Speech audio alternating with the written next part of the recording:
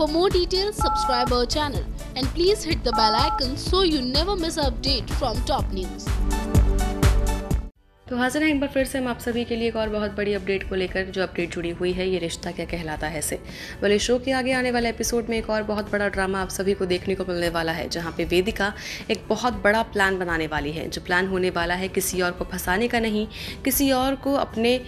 रोने धोने के ड्रामे में रिझाने का नहीं, बल्कि खुद अपनी ही किडनैपिंग का। जी हाँ आपको बता देते हैं कि कार्तिक से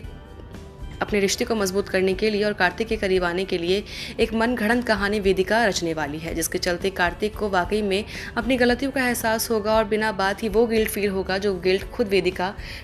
फील करवाना चाहती है कार्तिक को। ऐसे में क्या कुछ होता है कहानी में आगे किस तरीके से कार्तिक वाकई में वेदिका की चाल में कुछ टाइम के लिए फंस जाता है, इसी को लेकर आप सभी को आगे आने वाला ट्रैक देखने को मिलेगा। For more details, subscribe our channel and please hit the bell icon so you never miss an update from top news.